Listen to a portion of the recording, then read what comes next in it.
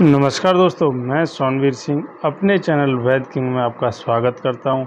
हमेशा की तरह फिर से एक नई वीडियो के साथ, जिसे आप काली मिर्च के नाम से जानते हैं। और इसी की जानकारी मैं आपको देने की कोशिश कर रहा हूँ। तो इस वीडियो में आप देखेंगे कि काली मिर्च के क्या क्या फ़ायदे हैं और किन किन रोगों में यह आश्चर्यजनक फ़ायदा आपको दिला सकती है।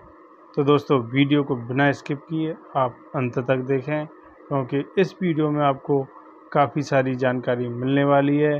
हाँ दोस्तों, यदि आप मेरी वीडियो पर पहली बार आए हैं, मेरा चैनल आप पहली बार देख रहे हैं तो मेरे चैनल को सब्सक्राइब करना न भूलें। साथ ही बेल आइकन को भी दबा दें, जिससे कि मेरे नई वीडियो का नोटिफिकेशन आप तक पहुँच सके। तो दोस्तों साथ में लाइक भी करते हैं। लाइक करने का कोई भी पैसा नहीं लगता है, ना ही सब्सक्राइब का लगता है।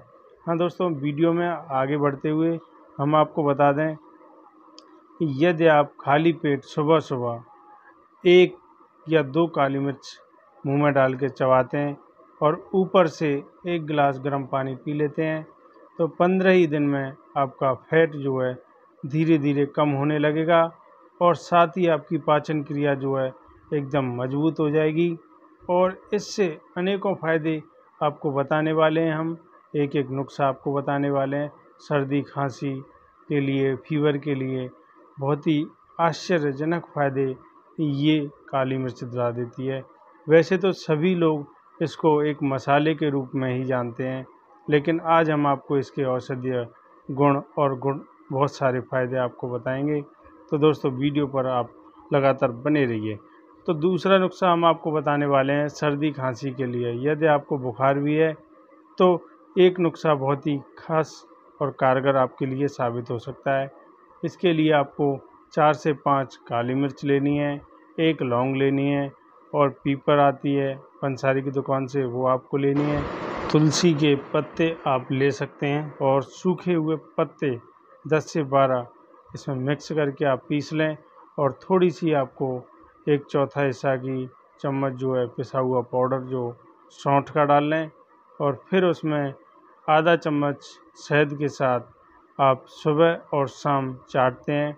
तो इससे आपकी सर्दी, खांसी और जो गले में खराश है या कफ आने की दिक्कत है, आपको कितनी भी कुकर खांसी हो, इससे आपको तुरंत लाभ मिलेगा।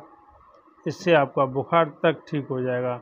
वायरल फीवर होता है या मौसमी जो आपको सर्द गर्म जो हो जाती है, उससे भी छुटकारा मिलेगा और साथ ही इससे आपकी जो इम्यूनिटी पावर है, वो भी बढ़ेगी।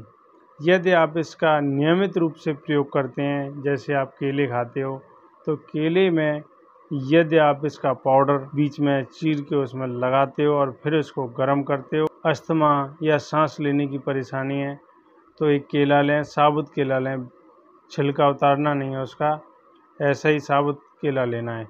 और उसमें इसका करीब चम, एक चम्मच का चौथा हिस्सा, यानी दस ग्राम का आधा हिस्सा, आप चम्मच से बीच में फाड़ के चीरा लगा के उसमें भर दीजिए। उसके बाद वो आपको गैस पर या तवे पर या किसी कोयले की आग पर उसको सेकना है। जब तक सेकना है कि वो एकदम मुलायम ना हो जाए। और दोस्तों, उसको मुलायम होने के बाद आप हल्का गुनगुना गुनगुना उसको खाइए। तो आपको दो सेकंड के अंदर ही जैसे आपके अंदर वो केला जाएगा तो आपको सांस लेने में जो तकलीफ़ हो रही है उसमें बहुत आराम मिलेगा और आप अपने आप को बहुत ही फ्रेश महसूस करोगे। तो दोस्तों, इस नुस्खे को आप आजमाएँ, कोई साइड इफ़ेक्ट नहीं है। और हाँ दोस्तों, इसकी जो मात्रा है कम से कम आपको मात्रा लेनी है। इसी के साथ मैं अपनी वीडियो को ब्राम देते हुए आपसे इजाज़त लेता हूँ। कल फिर मिलूँगा किसी नए टॉपिक पर या किसी नई औषधि के साथ। हाँ दोस्तों काली मिर्च के बारे में यदि आपको कुछ और जानकारी चाहिए तो हमें कमेंट बॉक्स में लिख दें। हम आपको अगली वीडियो में उसकी जानकारी देने की कोशिश करेंगे। सभी गुरुजनों को चरण स्पर्श भाई बंधुओं को ढेर सारा प्यार व नमस्कार। जय भोलेनाथ ओम नमः शिवाय।